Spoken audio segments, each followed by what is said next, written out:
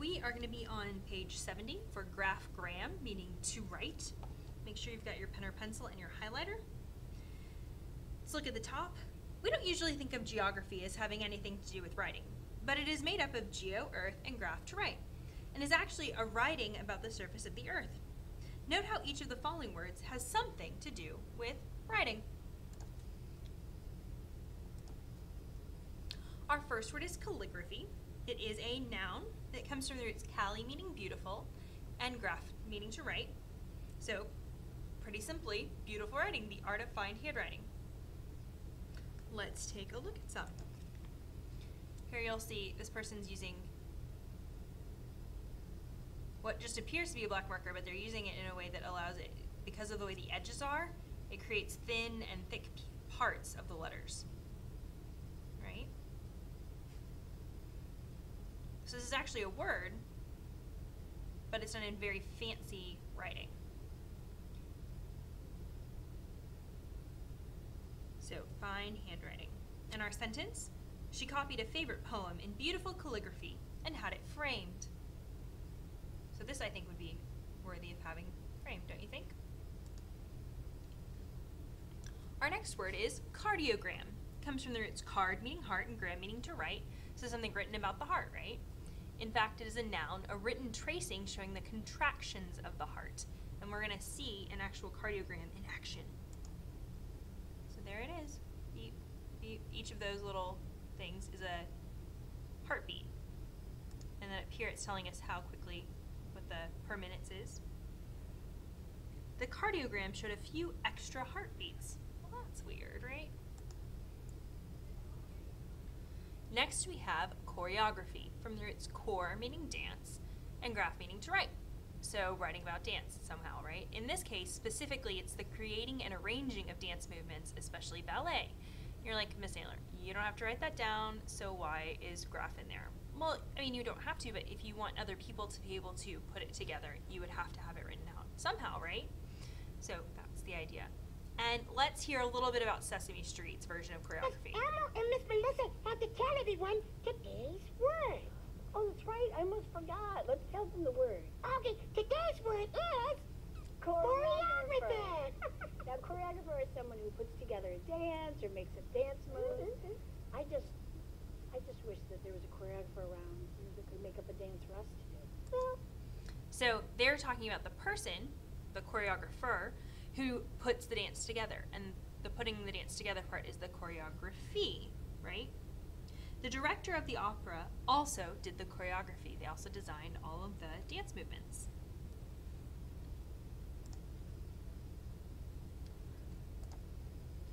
Epigram, from the roots epi meaning on and gram meaning to write. It is a noun, any short, witty saying. Um, the first thing I thought of when I saw this was what y'all like to post, um, uh, especially young ladies. We see those pictures with like the text on top. Um, so that kind of reminds me of an epigram. But this is important, this witty part. So in some way it has to be clever, right? Um, in some way it has to be maybe a little bit funny or something. So I chose one of my favorite writers to look at epigrams from.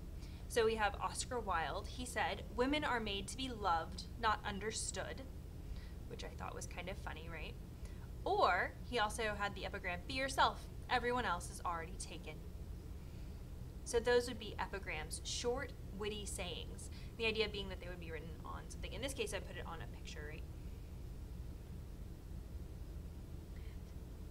She liked to quote the epigram Success is getting what you want, happiness is wanting what you get. Our next word is geography, which we looked at in the introduction. From the roots geo meaning earth and graph meaning to write, it is a noun, and it is a science dealing with the earth and its life. Geography was my favorite subject in grade school. So you'll see here's the earth, right? And graffiti.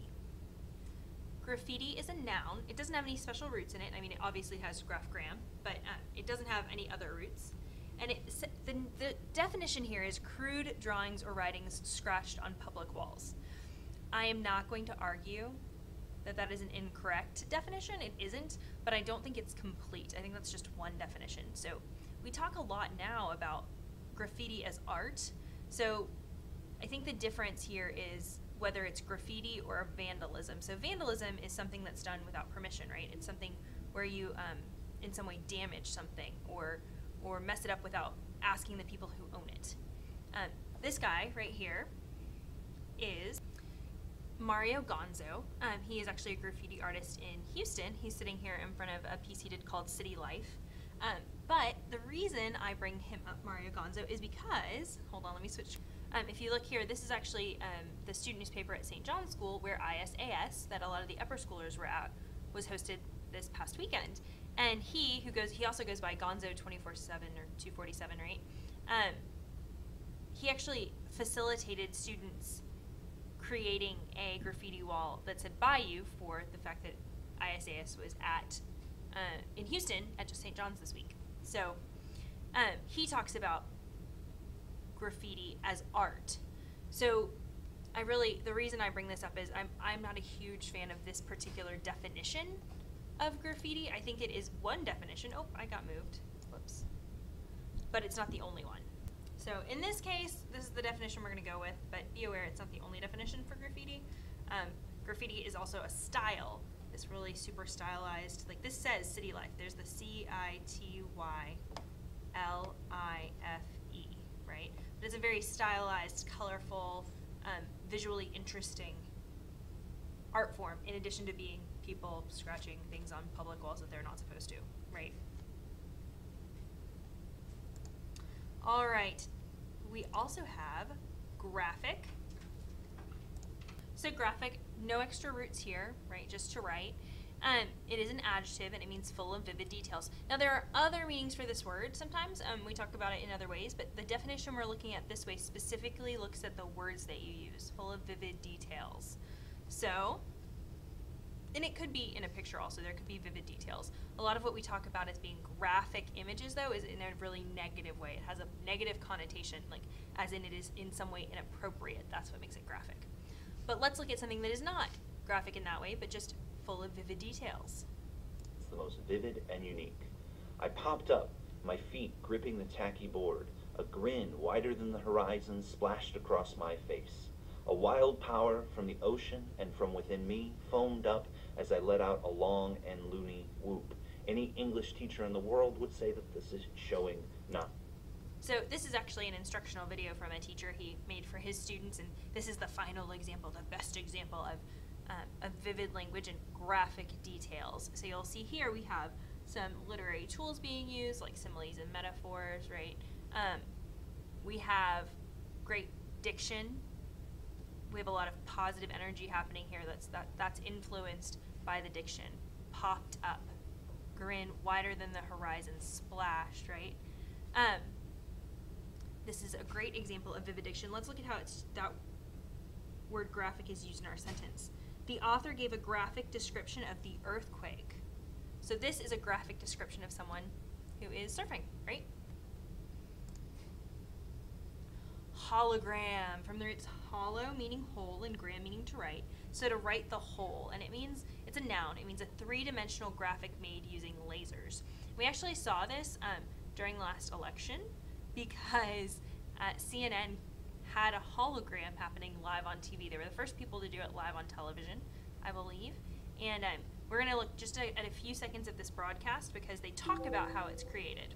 High definition cameras ringing me uh, in a ring around me. I'm in the center, and they shoot my body at different angles, and I'm told that transmits what looks like an entire body image back there to New York. Uh, these cameras, I'm told, talk to the cameras in New York, so they move and they know when to move when the cameras in New York move. And uh, it looks a little different from a real person there, but it's pretty remarkable. It's still Jessica Yellin, uh, and you look like Jessica Yellin, and we know you are Jessica Yellin. Let's get back. So you can see here, see the blue outline is kind of one of the signs that it's not really her standing there, it's a hologram of her. So they're projecting her three dimensionally in the middle of the room at one studio while she's actually standing in a studio in another part of the country, which is pretty cool, right? So here's our sentence. The cover of the National Geographic for December 1988 was a hologram.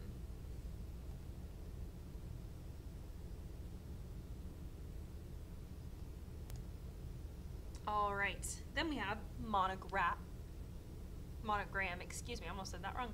Monogram from the roots mono meaning one and gram meaning to write. So it is a noun about one thing written together. In this case, it's taking two or more letters and entwining them into one design.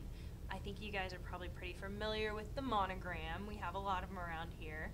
But let's take a look at maybe some different ones. So you'll see here the idea that it's visually interesting, right? Here we have an M and a C.